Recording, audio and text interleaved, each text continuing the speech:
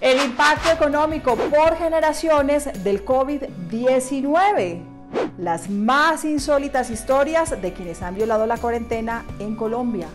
Y la muerte del máximo referente del baloncesto en el país. Un estudio reveló las graves implicaciones y afectaciones económicas del paso del COVID-19 en nuestro país. Las cifras del mundo también son impresionantes. En el país, 8 de cada 10 colombianos ha visto afectados sus ingresos familiares.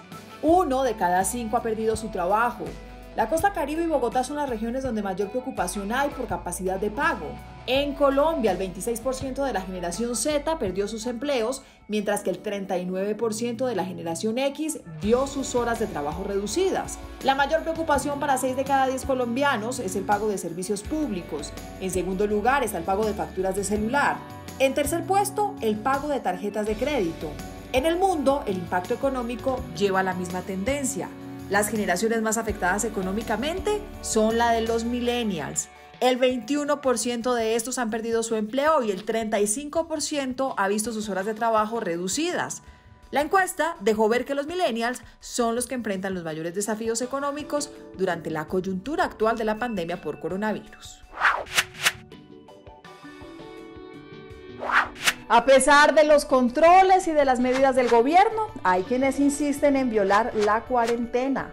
Aquí te tengo una lista de los casos más insólitos. En Soledad Atlántico, las autoridades descubrieron una iglesia cristiana donde había al menos 10 feligreses, entre los que se encontraban personas mayores. Todos fueron sancionados. En Cúcuta, la policía encontró a seis parejas en un motel. El lugar fue cerrado por las autoridades y a las 12 personas se les impuso comparendos. En Magdalena, el presidente del Consejo de Santa Marta, Carlos Robles, fue sorprendido consumiendo licor en espacio público durante la ISECA. En Cartagena, la policía descubrió que un hotel en el sector de Boca Grande prestaba sus instalaciones para realizar fiestas clandestinas. En Atlántico, cerca de 400 personas asistieron al cortejo fúnebre de un mototaxista.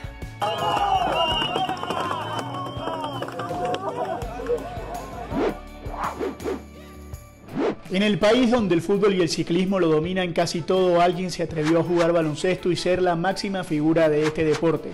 Un hombre que con su altura y sus manos estuvo muy cerca de tocar la gloria deportiva. Ven y te cuento de quién se trata. Ser el referente de una disciplina tan distinta a las prioridades de este país es realmente un lujo de pocos. Se dio también la posibilidad de estar muy cerca de la NBA y jugar en ligas importantes en Europa. Es una gran referencia del deporte de este país que lamentablemente ha fallecido.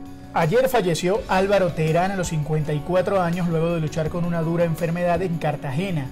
El exjugador de baloncesto fue históricamente la referencia de este deporte luego de jugar a finales de los 80 en la Universidad de Houston y destacarse por encima del resto. Estuvo a una noche de jugar en los Sixers de Filadelfia de la NBA, la mejor liga del mundo, lo que hubiese marcado mucho más su carrera.